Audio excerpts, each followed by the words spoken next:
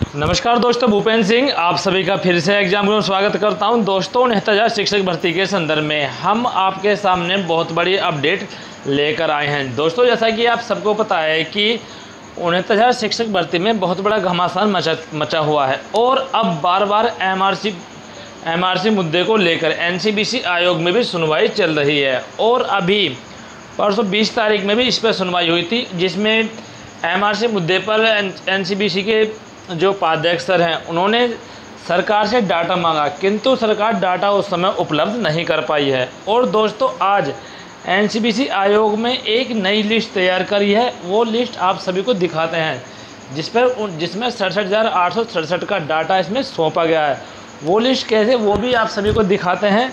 और बार बार सचिव सचिव से भी आग्रह किया जा रहा है कि आप समय डाटा सौंपें। दोस्तों वीडियो को शुरू करने से पहले चैनल को सब्सक्राइब करें, लाइक करें, कमेंट्स करें और अपने अन्य दोस्तों को भी शेयर करें, क्योंकि जो पल पल की अपडेट होती है, वो भी हम आप सभी के सामने अवश्य ही लेकर आते हैं। दोस्तों, दिखाते हैं आप सभी को लिस्ट जो पीएनबी सचिव ने एमआरसी मुद्दे को लेकर एनसीबीसी आयोग में एक लिस्ट सौंपी है। दोस्तों, चलते हैं न्यूज़ की तरफ़। दोस्तों, आप सभी देख पा रहे हैं कि ये पीएनबी सचिव महोदय ने एमआरसी मुद्दे को लेकर एनसीबीसी आयोग में ये एक लिस्ट सौंपी जो सड़सठ हज़ार आठ सौ सड़सठ की की सेलेक्टेड कैंडिडेट की लिस्ट है। दोस्तों आप सभी को बता सक चलें कि ये वही लिस्ट है जो अंतिम स्वरूप अंतिम रूप से यह सेलेक्टेड लिस्ट तैयार की गई थी।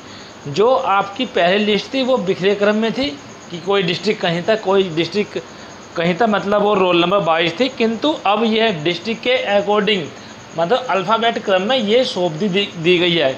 किंतु इसमें कोई भी बदलाव नहीं किया गया। जैसी लिस्ट थी, पहले थी, अब वो ऐसी है, बस अंतर ये है कि इसमें जो डिस्ट्रिक्ट हैं, वो बिखरे हुए थे। अब इनको एक सही क्रम मतलब एक अल्फ़ाबेटिक क्रम में इनको लगा दिया गया है। और दोस्तों जो सिलेक्टेड छात्र हैं, उन्हें घबराने की कोई ज़रूरत नहीं है। जिनके मार्क्स रियल हैं, उन्हें कोई, उन्हें होगी, कोई परेशान नहीं होगी। किंतु जिनके फर्जी मार्क्स हैं, या कुछ डाउट है, उनको हो सकता है कुछ सामना कुछ समस्याओं का सामना बीच में कर, करना पड़े। दोस्तों जिन भाइयों को ये लिस्ट चाहिए वो हमारे व्हाट्सएप ग्रुप से जुड़ जाए और उसमें हाई करके और इस लिस्ट को हमसे मांग सकता है। हम इस लिस्ट को उसके व्हाट्सएप नंबर पर सेलेक्टेड कर देंगे।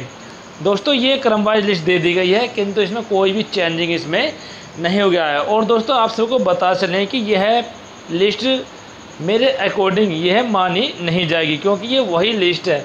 और सरकार के द्वारा सरकार से हर बार यही मांगा जाता है कि वर्ग वर्ग कैंडिडेट के अकॉर्डिंग और किस कैटेगरी में आता है और आरक्षण आरक्षण का फॉलो किस तरह से हुआ है, सबको दिखाते हुए लिस्ट मांगी थी। किंतु सरकार ने उसी लिस्ट को पुनः फिर ये इसी मतलब डिस्ट्रिक्ट वाइज ग्रुप में इनको रख दिया। अब दोस्त, देखना होगा कि इसमें क्या होने की संभावना है। मुझे नहीं लगता कि यह लिस्ट स्वीकार की जाएगी, क्योंकि यह लिस्ट और पहली लिस्ट में कोई भी डिफरेंस नहीं है।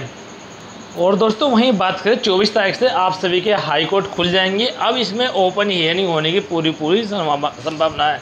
यहाँ तक कि जो आपकी सीबीआई जाँच का मुद्दा था, वो भी काफ़ी टाइम लिस्टेड नहीं होता, क्योंकि उसकी बहस ओपन हियरिंग ओपन कोर्ट में ही होने की पूरी पूरी संभावना है। दोस्तों, अब आपके जितने भी सरल मैटर्स हैं, वो सुलझ जाएँगे क्योंकि खुद पीएनपी के सचिव सचिव ने, खुद एनसीबीसी आयोग में यह कहा था कि हम साथ जब ही और अन्य प्रोसेस आगे बढ़ाएँगे, जब हम आपको संतुष्ट कर दें। किंतु एनसीबीसी के सचिव ने जो अध्यक्ष साहब, उन्होंने बोल दिया था कि जब तक हम संतुष्ट नहीं होंगे, हम इस भर्ती प्रक्रिया को आगे होने नहीं देंगे। अब दोस्तों, क्योंकि दोनों तरफ़ से दोनों पार्टियाँ अड़ चुकी हैं, अब देखना होगा कि इसमें क्या होना है बहुत ही घमासान इसमें चलेगा। तो दोस्तों, ये थी आपकी न्यूज़ जो हम आपके सामने लेकर आए और जो भाई चैनल पर नए हैं, प्लीज़ वो चैनल को सब्सक्राइब करें, लाइक करें, कमेंट्स करें और अपने अन्य दोस्तों को भी शेयर करें, क्योंकि जो पल पल की अपडेट होती है वो भी आप सभी के सामने अवश्य लेकर आते हैं। थैंक यू दोस्त धन्यवाद आप सभी का भूपेंद्र सिंह।